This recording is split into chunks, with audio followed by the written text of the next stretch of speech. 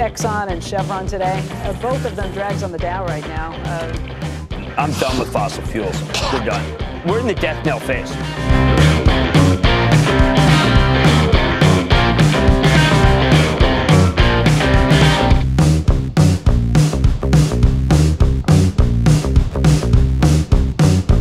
Cannot finance what is killing us.